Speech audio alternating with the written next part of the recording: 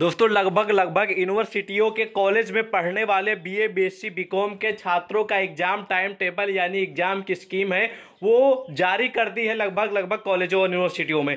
जो बाकी के बचे यूनिवर्सिटी है कॉलेज के जो छात्र हैं बीए बीएससी बीकॉम वाले, उनकी जो स्कीम है वो जल्द जारी कर दी जाएगी। तो हम आप लोगों को अपडेट कर दें, जिनकी स्कीम आ चुकी है, उसमें सारी जानकारी दे देंगी कि परीक्षाएँ किस हिसाब से होंगी, कितने नंबर का होगा और किस तरह के पेपर में क्वेश्चन आने वाले, सारी जानकारी दे दी गई है। ठीक है जो यूनिवर्सिटियों ने एग्ज़ाम की स्कीम जारी की है।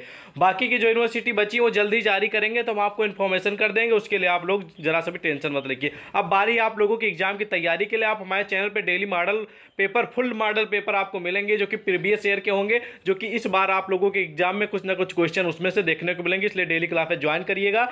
और मैं आप लोगों को एक, जो अपडेट आई है एक यूनिवर्सिटी से परीक्षा को लेकर, वो भी मैं आप लोगों को बता दे रहा हूँ। तो डेली क्लासेस ज्वाइन करिए, ठीक है? Per day model question paper full मैं आप लोगों को देने वाला हूँ।